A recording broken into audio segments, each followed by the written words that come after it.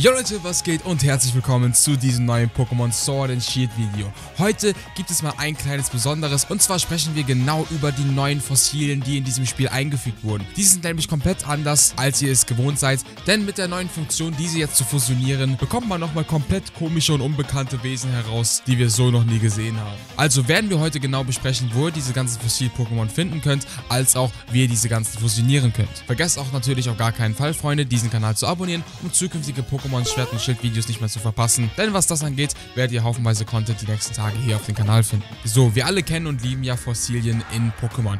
Aber in Pokémon Schwert und Schild hat man eben eine sehr große Änderung vorgenommen, die das gesamte System verändert. In zuvorigen Teilen hatten wir immer Fossilien gehabt, die, wenn wir sie wiedererweckt haben, zu einem richtigen Pokémon wurden. Jedoch ist es hier diesmal so, dass es keine Fossilien mehr gibt, die im ganzen Stück vorhanden sind. So müssen wir also verschiedene Oberkörperteile als auch Unterkörperteile finden und diese kombinieren kombinieren, um ein komplett neues Pokémon zu erschaffen. Wir können in diesem Teil also nicht wirklich ein richtiges, komplettes, ganzes Fossil wieder zurück ins Leben rufen, sondern müssen eben aus den Teilen, die verblieben sind, das Beste machen. Das sind kurz gesagt die Fossilien im Allgemeinen erklärt, als auch die größte Änderung, was Fossilien angeht, in Pokémon Schwert und Schild. Insgesamt gibt es zwei Oberkörperfossilien als auch zwei Unterkörperfossilien, die sich eben unterschiedlich kombinieren lassen, sodass wir eben vier verschiedene Pokémon daraus bekommen können. Je nachdem, wie ihr eben diese Teile kombiniert, wird auch das Pokémon aussehen. Das ist zum Beispiel der Oberkörper zusammen mit dem Kopf von diesem einen Pokémon mit dem Unterkörper, also den Füßen zum Beispiel und der Hüfte des anderen Pokémons fusioniert wird. Und das sieht halt wirklich komplett komisch aus,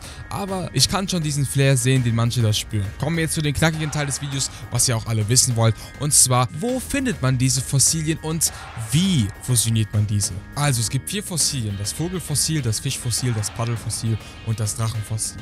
Die beste und einfachste Weise, um diese Fossilien zu bekommen, wäre einfach, wenn man sich zu den Buddle-Brüdern aufmacht. Diese Buddle-Bros, die findet man in der Naturzone neben der Pension. Wirklich nur 100 bis 200 Meter entfernt. Mit denen kann man sprechen, den 500 Watt in die Hand drücken und die buddeln dann so lange, bis sie dann endlich ein Fossil finden. Dabei sei natürlich gesagt, sie können hier wirklich alle Fossile finden, egal ob ihr Schwert oder Schild habt. Da habt ihr keine Exklusivität. Hierbei kommt es wirklich nur auf Glück an. Manchmal buddelt er so lange, dass er ein paar Fossilien findet, manchmal findet er auch keine Fossilien. Aber früher oder später, wenn ihr genug Watt da reinsteckt, werdet ihr alle Fossilien haben, alleine durch die Buddelbrüder. Nebenbei bekommt ihr auch weitere nützliche Items, da er natürlich nach allen möglichen Schätzen buddelt und nicht nur nach Fossilien. Es gibt aber natürlich exklusive Fundorte, was die Fossilien angeht, als Geschenk oder als Item. Das Vogelfossil als auch das Paddelfossil könnt ihr exklusiv ein Schwert finden und dies bekommt ihr ein Passback im Pokémon Center von dem Mann links geschenkt. Dieser gibt dir übrigens auch Rat, wie du diese ganzen Fossilien finden kannst, als auch fusionieren kannst. Das Fischfossil und Drachenfossil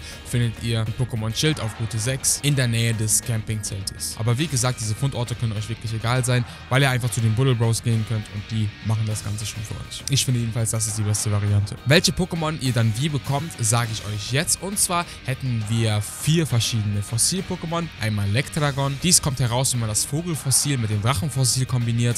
Dann hätten wir Lycriodon. Dies entsteht, wenn man das Vogelfossil mit dem Paddelfossil kombiniert. Als nächstes dann noch Peskragon. Dafür müsst ihr das Fischfossil und das Drachenfossil kombinieren. Und zu guter Letzt Pescriodon. Um dieses zu bekommen, kombiniert ihr das Paddelfossil als auch eben das Fischfossil. Und das war's, Freunde. Hier habt ihr schon eure Fossilien. Ich mag es wirklich sehr, was für eine Änderung man hier jetzt eingeführt hat. Ich finde, das erfrischt das Ganze nochmal sehr und sorgt auch für sehr skurrile, witzige Kreationen. Ich hoffe, euch hat das Video weitergeholfen. Weitere hilfreiche Pokémon-Videos werden auch weiterhin hier auf dem Kanal stattfinden. Also haltet die Augen offen und abonniert definitiv den Kanal als auch aktiviert die Glocke, damit ihr das nächste Pokémon-Video auch nicht verpasst. Schreibt mir in die Kommentare, was euer Lieblingsfossil von den vier ist. Ich wünsche euch auch einen wunderschönen Tag. Passt gut auf euch auf. Lasst euch gut gehen und ich würde mal sagen, ciao.